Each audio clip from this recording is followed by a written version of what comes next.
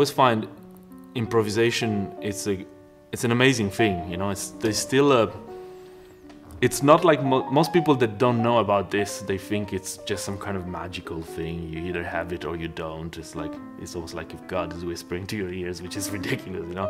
Like i said like i told you before it's a language you know it's something that takes a long time to learn.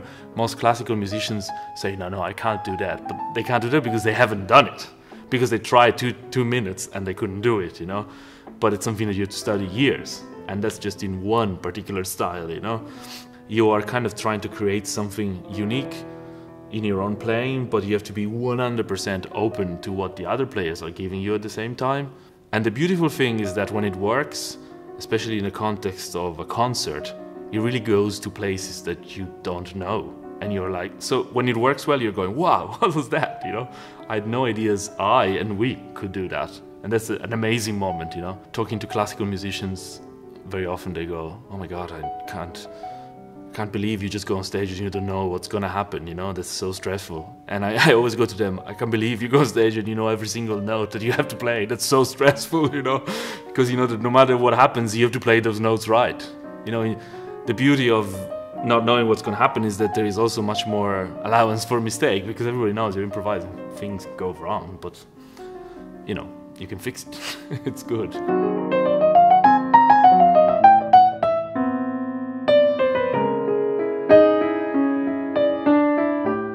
know, I find it hard to use the word composer because every time I think about a composer, I have this image of someone sitting at the desk writing a symphony, you know, which is I wouldn't be able to do and I've never done, you know. For me, it means sitting at the piano, working on stuff and letting ideas flow, you know, to a certain extent, and then kind of working on ideas, you know. But uh, I don't think I've ever written a piece of music away from the piano. It's, uh, I mean, the piano is amazing for that because it's all there, you know, the music is all in front of you you just have to figure out a little bit what you're doing, you know?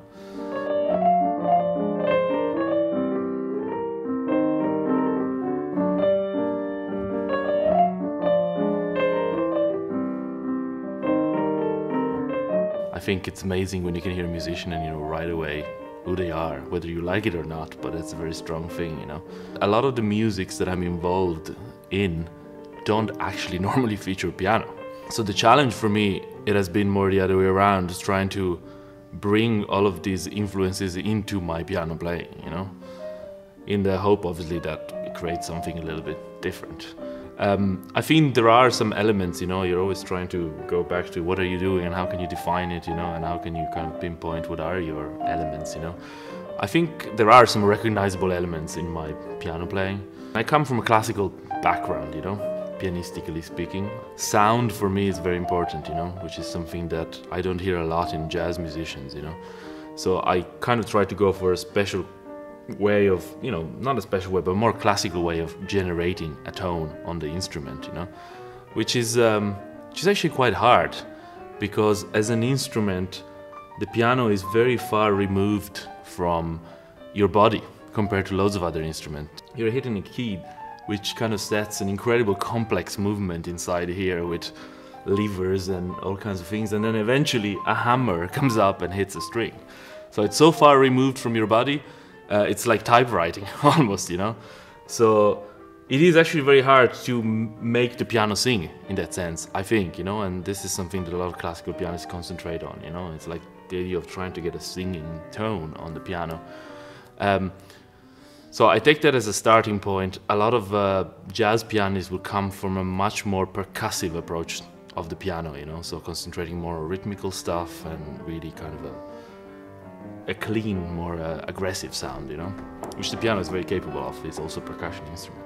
It's the first thing that I listen to when I actually listen to a piano player or another instrumentalist as well. It's the first thing that strikes me is the sound, you know. It's a very kind of a, a senses, you know, kind of feeling. You know what I mean? Um, and the other one is a kind of a balance between beauty and energy. This is what I always kind of try to look for, you know, whether it's my own music or someone else's music, you know.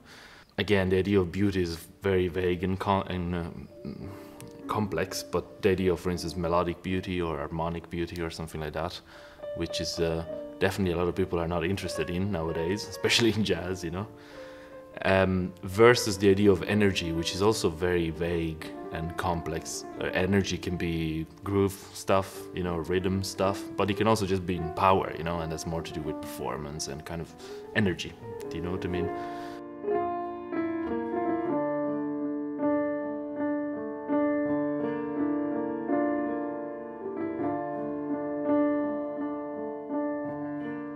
I'm a trained jazz pianist, really. I mean, I went to conservatory to study jazz piano. Nowadays, what you see a lot is people studying these kind of Berklee methods, uh, taking a very kind of vertical approach to uh, harmony and theory, you know, where it's very much rooted in this idea that your left hand is playing these kind of chords and your right hand is learning to play on top of them, you know. It's very much separated, you know, in that sense. And I hear it a lot in most kind of young students. My piano teacher came from an an earlier kind of idea of more rooted in bebop, you know, so much lower in the keyboard and much more rooted in horizontal movement, you know, so thinking more about voice leading, thinking more about individual voices moving, which bizarrely enough is actually more related to early music again, you know. So you're not thinking blocks of chords, but you're thinking how everything moves into each other, you know.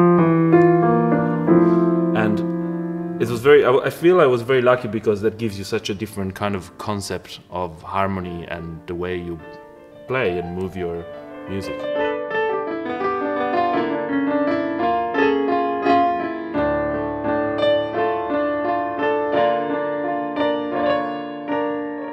often when I play with this early music group, you know, some of the music is so beautiful and so touching that you actually, it's quite normal you see people crying, you know, and it's such an intense thing, you know, you're on stage and you're going, something we are doing is making him cry, you know.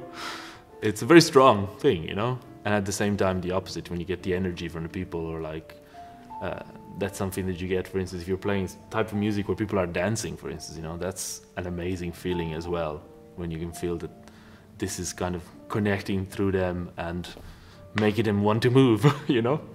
That's the opposite, that's more the energy side of it, you know?